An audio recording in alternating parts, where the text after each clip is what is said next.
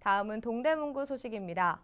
동대문구가 층간소음 갈등을 해결하기 위해 층간소음 아파트 주민이 스스로 해결한다 사업을 본격적으로 추진합니다.